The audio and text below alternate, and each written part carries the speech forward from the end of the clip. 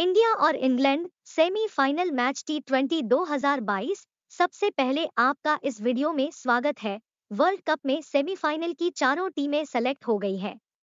Team India T twenty world cup 2022 के semifinal में पहुँच गई है।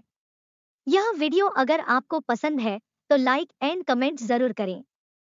यह video online social media platform पर शेयर ज़रूर करें अपने फ्रेंड्स के साथ जैसे व्हाट्सएप एंड फेसबुक, जहाँ 9 नवंबर को पाकिस्तान की टीम न्यूजीलैंड से भिड़ेगी। तो वहीं भारतीय टीम का मुकाबला 10 नवंबर को इंग्लैंड से होगा।